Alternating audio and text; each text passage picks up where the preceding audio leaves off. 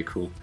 Yeah, let's get right into it. The new EP, uh, Nocturnal Transmission, just came out. So, uh, like, what are your own thoughts and feelings on the EP now that it's out? Um, well, it's kind of a relief uh, for it to be out finally, um, because we recorded this EP all the way back in December of 2019, and then everything kind of started getting a little crazy with COVID 19 in the world. And uh, so uh, we sat on it for a little bit because we weren't really sure what was going to go on. Uh, and uh, so then, uh, uh, probably around April or May, I just decided, you know, what, I'm just going to release this and see what happens. And so I called up my friend Steve from War Crime and I was like, hey, you want to do another record? And he was like, yeah, sure.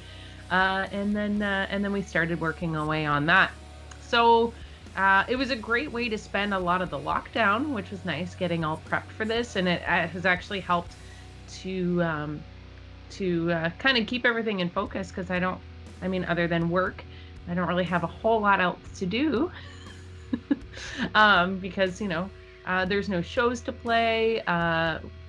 leaving the house is kind of a sometimes thing now. Um, so it's uh, it's really it's been a great experience so far. Very different, and it's kind of nice because I feel like um, I've been able to spend a lot more time on getting this album prepped and ready to go. Okay, so uh, the album was uh, uh recorded already last year, right? Okay, so uh, yeah, you already touched on this, but uh, what kind of experience has it been to put music out at this kind of time, and how did the decision come by to finally put it out there? So we, it's strange because we're so used to playing shows um, in order to, you know, prep for a release and to, you know, leading up to the release and after the release. So, um, and the live portion of the band is such an important part of the band, right?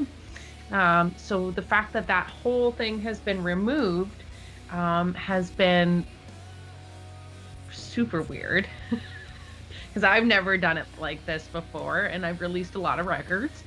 Um, so it's just been it's com- been completely different. I feel like we've really uh, spent a lot of time on doing other things to promote the record, like um, filming little clips and uh, shooting videos um, which we had just shot a, a second video for uh, one of the songs on Nocturnal Transmission a couple weeks ago, um, which we should be getting uh, anytime in soon, hopefully very soon. Anyway, um, so that should be released soon. Um, and like, uh, just uh, spending a lot of time on interviews and stuff like that as well.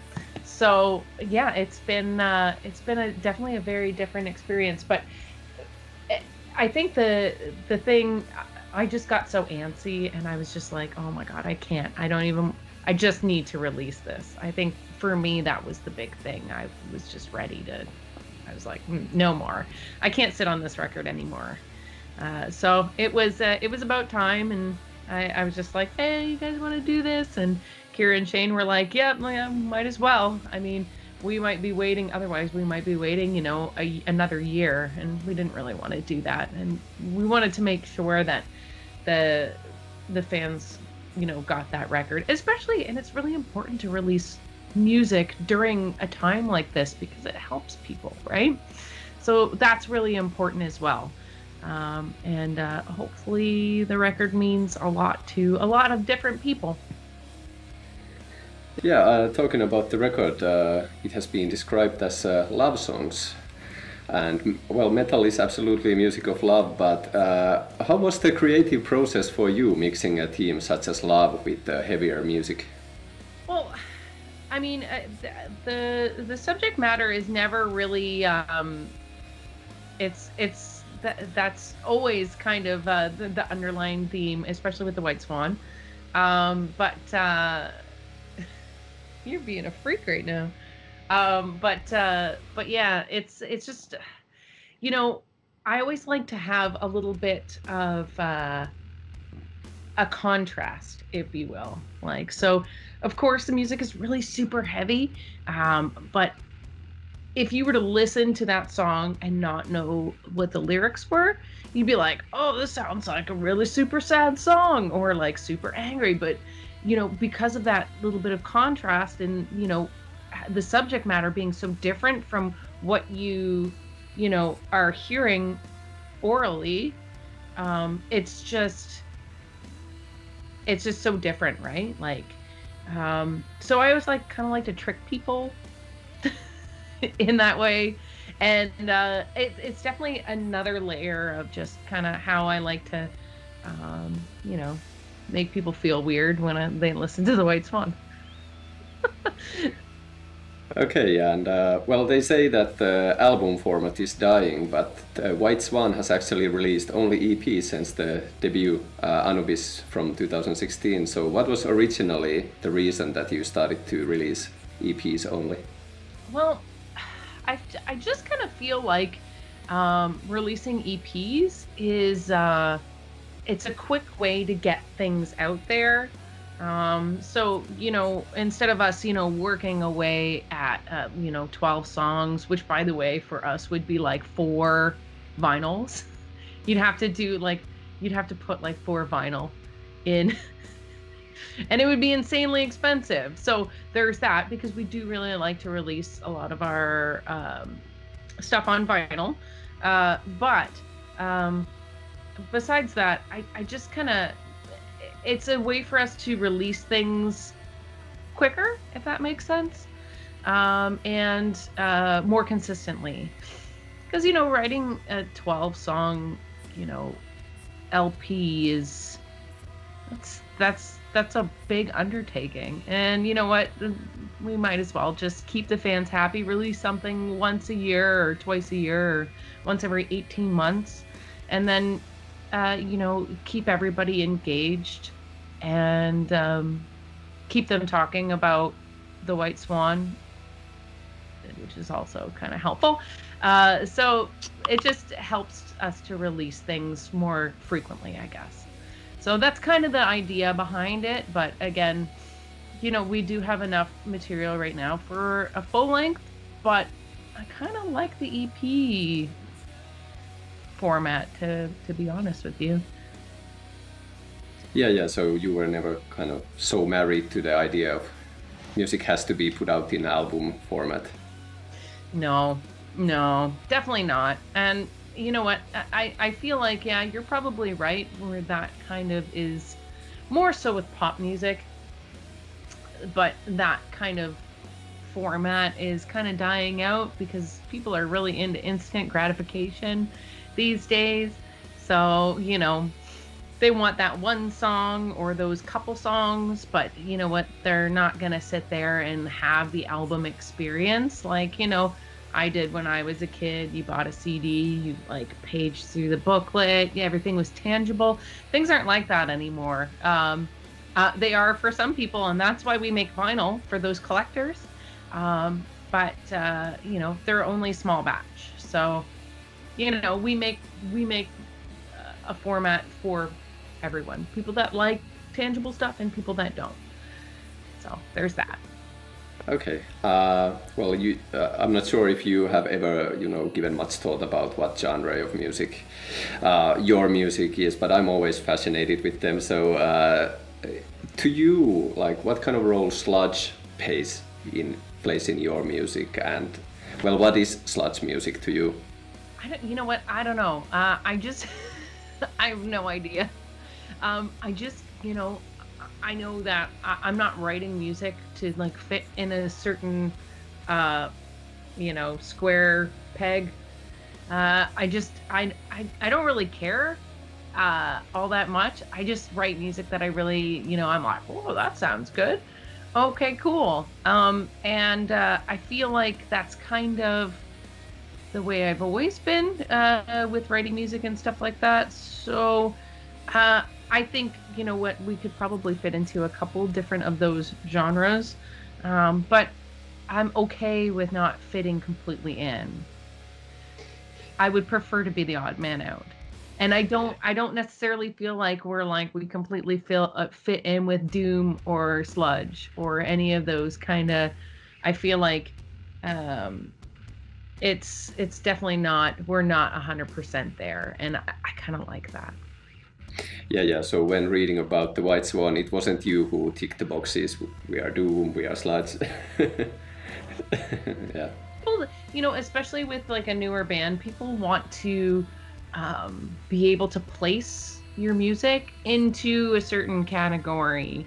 Um, so you know they'll have something to compare it to and uh, so that means that that Johnny over here that likes sleep might like the White Swan. But I, I just I definitely think that there's there's more to it than that, if that makes sense. And a lot of times when people um, really start to categorize things finitely, um, it kind of is just kind of like what, meh, like really?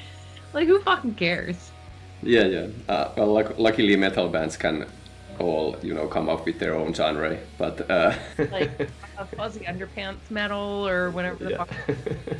Like, I just, I'm sorry, I just, I, I, I don't really see like a, a reason, uh, a reason to, to like, you know, go really super in depth into like a description uh, like that and like categorizing things because like I feel like that's just like putting you in a box, right?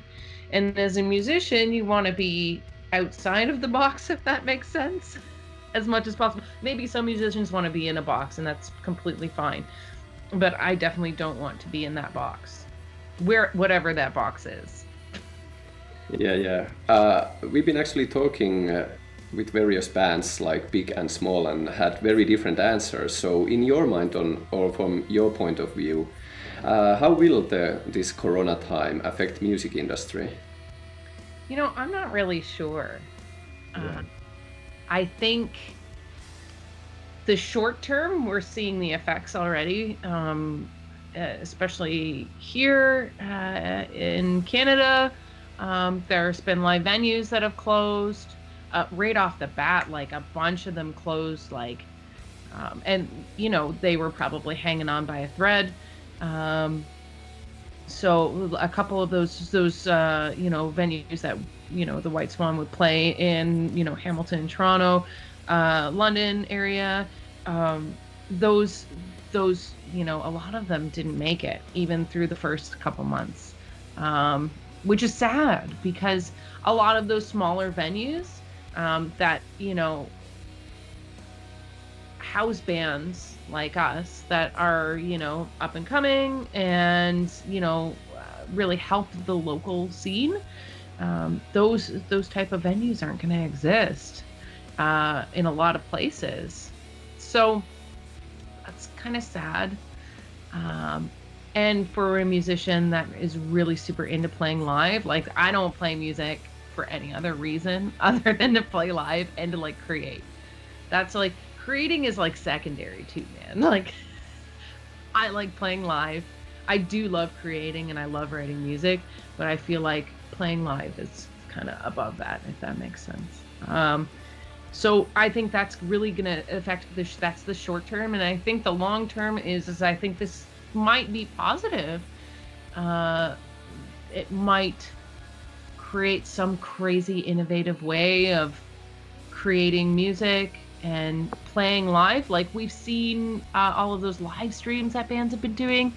Like that's craziness. That didn't really exist. People didn't really do that very often before this happened and now everybody's doing it.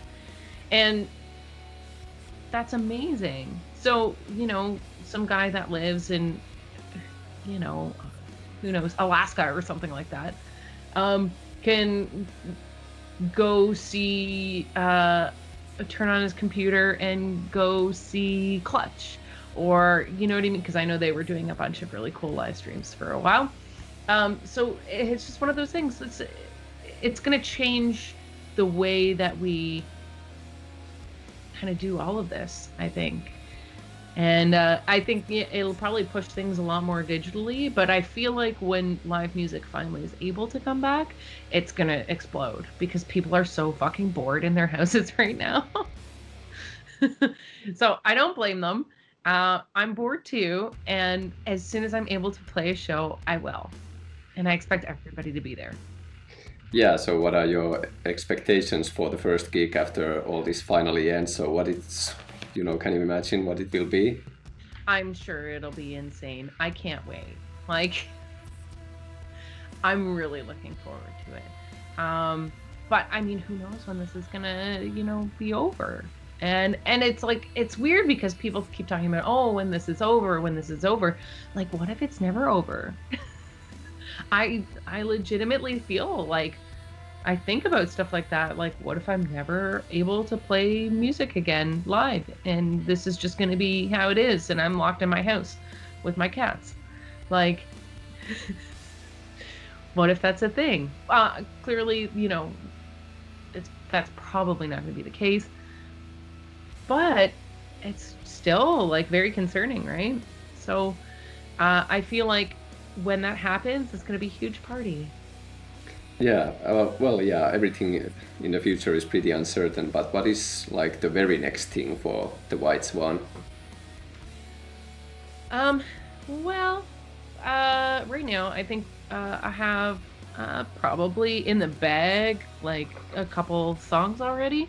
So it, uh, it would just be a case of kind of getting those all situated and ready to go hopefully record by January again, um, so we can have another EP out soonish. Um, that's like a little farther in the future. Um, but uh, we just uh, uh, filmed a video for our, another song on Nocturnal Transmission, so we're gonna release that hopefully in the next couple weeks. And I'm just trying to think what else. Um, just lots of interviews and um, promotion stuff for for the record because we want to make sure that you know we're doing as much as possible, especially because we don't have live shows to really promote it. So uh, lots of talking to people like you, which is the highlight of my day.